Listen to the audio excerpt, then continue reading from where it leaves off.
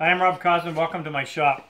If you've uh, been cutting dovetails, particularly in softer wood, and you find that in between the tails you get a lot of uh, fiber breaking and big chunks coming out, it's really irritating. I dealt with that for a long time until I came up with a solution. And prior to coming up with this solution, it didn't matter how sharp the chisel was, I, uh, for whatever reason, it would still cause this problem. So I started playing around with the primary bevel. And most chisels come with a 30 degree primary bevel, some 25. I prefer 25 for general use, hardwoods. But what I did is I started grinding a lower and lower angle, more and more acute. And when I got down to 17 degrees, I could work in the softest of woods and it would cut beautifully without fracturing. So I'm going to show you how I did that and then I'll show you what the results are. So I've got a protractor. I'm just going to measure this one first. I just took this off my chisel rack. Here's the uh, I typically keep two chisels at that 17 degrees, a half inch and a quarter inch. And uh, you can't use those in hardwoods, by the way. But I happen to have two 3 8 inch, so I'm going to do one of the 3 8 as well, and I'll show you how I grind it. Well, the first thing I want to do is find out what the angle of this is. My guess is that's higher than 25 degrees. Right there. And if we look,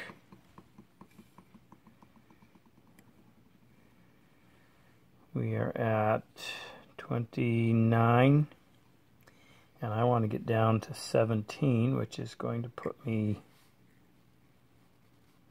right about there. So guesswork at first. I'm going to go over to the bench grinder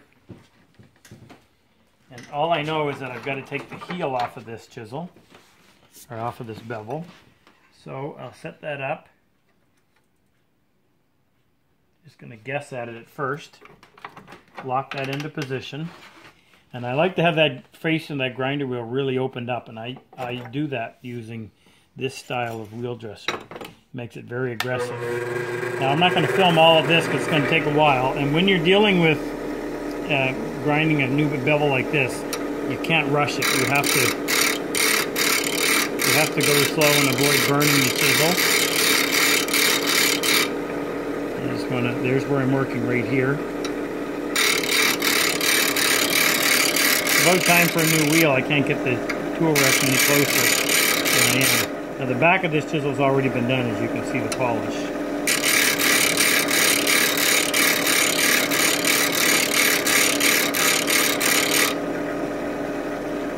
And I just keep checking this crest line right there to see if I'm keeping it square.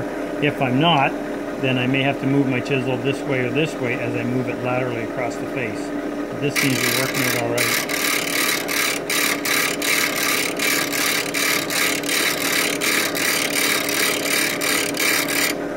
And I keep my hand, my fingers up close to the end, so if it's getting too hot, I can tell, and that'll give me a chance to cool it off.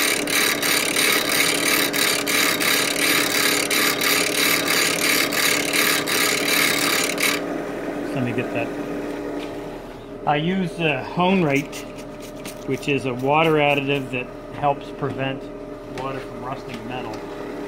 Really handy stuff.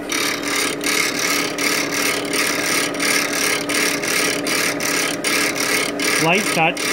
If you apply too much pressure, you're going to generate so much friction and heat that it's going to burn on you. Not so much when you're way back here where there's lots of metal, but as you get closer to the end, then it becomes a lot more difficult to prevent burning. So you may as well get used to that light touch now where you're practicing getting rid of the bulk of the metal from the uh, heel. Now, when I get enough that I can register with the protractor, which I do now, I'll check it again and see if I'm close to that 17 degree angle that I want. If I'm not, I can adjust the tool rest now. So all I'm doing is just pushing that in until it touches across the uh, across that flat part of the bevel, that section right there from the end or from the crest to there that I've already ground. And that is showing up as just uh, under, or just above, about 21, 22 degrees. So, ready? Okay, so I've got to take a, I've got to take this heel down a little bit more. So I'm going to adjust this rest. Just pull it up a little bit higher. Lock it.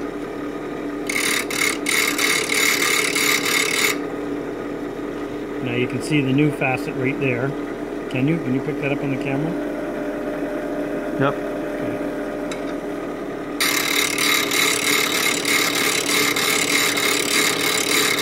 It won't take long to expand that or widen that new facet enough that I can go in and check it with the protractor and see if I'm at my 17.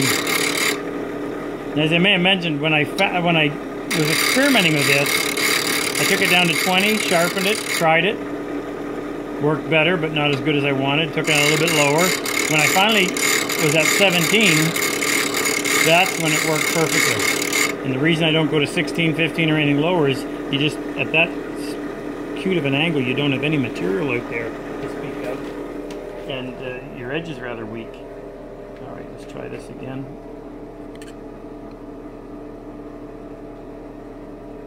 Can't see, I need a piece of white paper or something directly behind.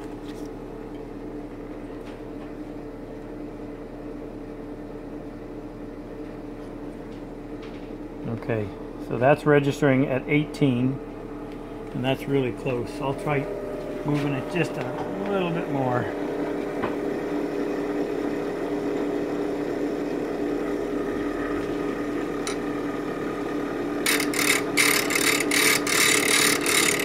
Now what comes into play with this, if you'll notice, that because of the width of the tool rest, I'm resting on the cone or the socket portion of the chisel. It's not laying flat like this. Not that that matters, it's just you have to take that into account when you're trying to get the angle you actually want.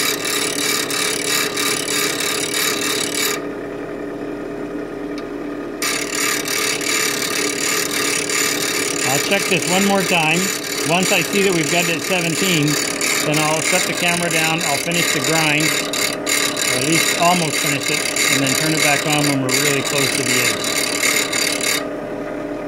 Alright, that's enough.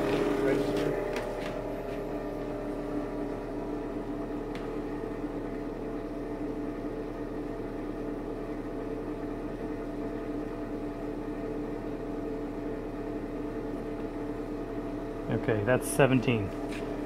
So, let me uh, let me get some of this done, and when I, like I said, when we're really close, we'll uh, we'll turn the camera on just how I show you how I finish off that last little bit.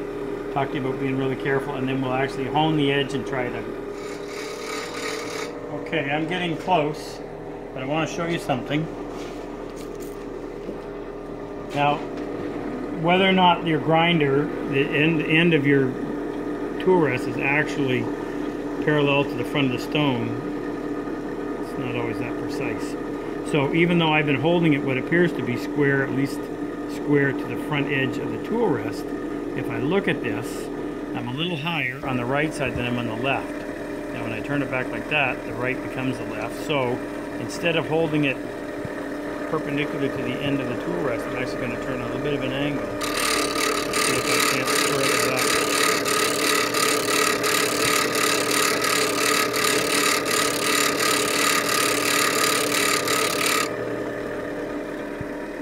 That looks better. And I've got a little bit to go. Now, one more thing I wanted to caution you too, that the smaller the diameter of the wheel, the more pronounced the hollow grind is going to be. And in order to get a 17 degree angle, what we're measuring is, we're measuring from out here at the tip and that, the toe and the heel. So once that says 17 degrees, if you've got a narrow stone, a di small diameter stone like a six inch, it's going to be really pronounced and you're going to have very little metal out there.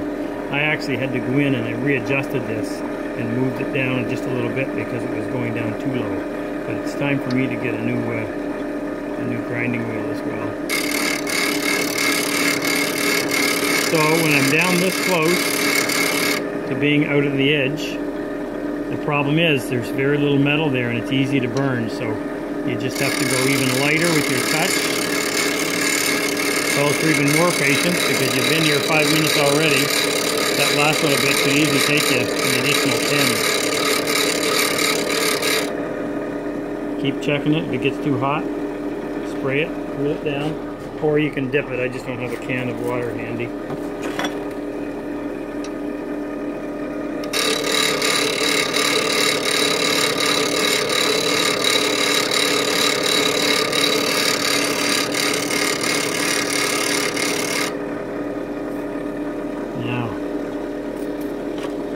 I'll take that.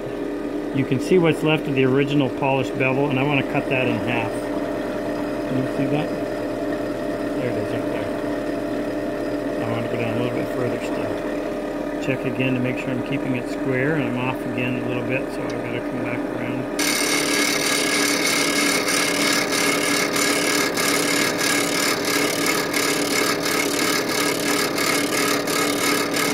Going to take the time to do this, you need to do it with a chisel that has decent quality steel.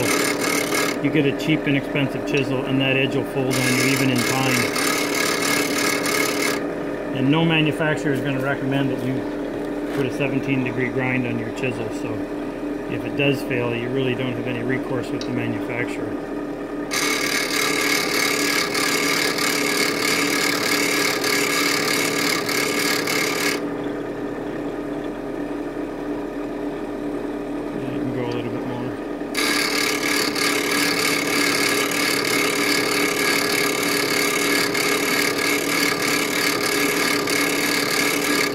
If you're starting from scratch, I would go through and I would prepare the back of your chisel. I've done some YouTube videos on that. You go through and flatten first and then polish through the various grits.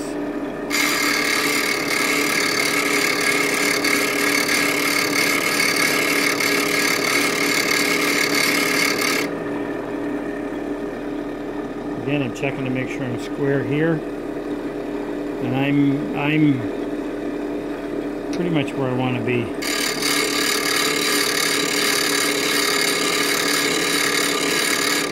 And by keeping the chisel tight to the face of the tool rest, you end up with one nice clean facet, not multiple. Okay. Uh, just another 30 seconds or so.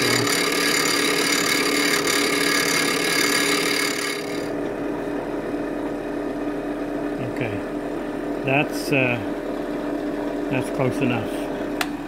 Okay, now we'll go over here. I'm, I'm going to use two stones, my 1000 and my 16,000. First thing I'll do is use the 300 grit side, which is the opposite of the 1000, to go in here and flatten my ceramic 16,000. No maintenance required on the diamond plate. Put a layer HoneRite on both. Lay that down on the primary bevel. It's real easy to find, big wide bevel like that. And raise it up just a few, just a degree or less. I don't want a lot. Now on a narrow chisel, you may find it's easier to just move forward and back instead of doing circles. Circles, if you're unexperienced, inexperienced, will have a tendency to uh, put a skew on it. Now I want to be able to feel a little bit of a burr on the back side, and I can't yet, so I got to do a little bit more. Light to moderate pressure. Hands are tied together so that this is an easy, or it's easy to uh, freehand and keep the uh, angle consistent. Now I can feel a little bit of burr on the back side, so I'm going to switch to my 16,000, find my primary, raise up just a little bit higher than I did on that previous stone. So if I went up one degree over there, I'm up maybe two degrees here. Well, about five seconds of work just to polish a leading edge, or what we would end up calling a tertiary bevel, and then lay the chisel on its back and just a couple of seconds to get rid of any burr. Now, clean that off and try it. Now this is a very fragile edge. You got to be careful with it. You can't pry. You certainly don't want to use it in hardwoods.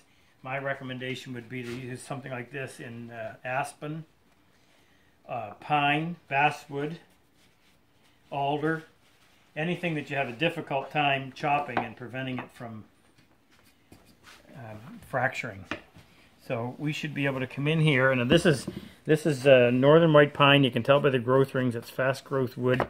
It's very soft.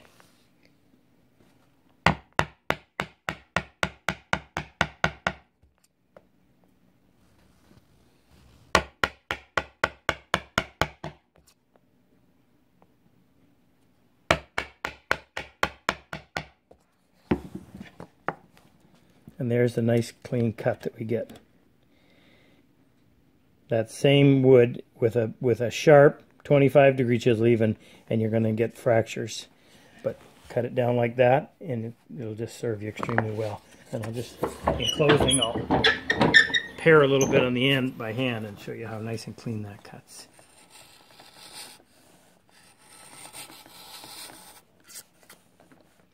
And that's actually going against the grain if you figure that out.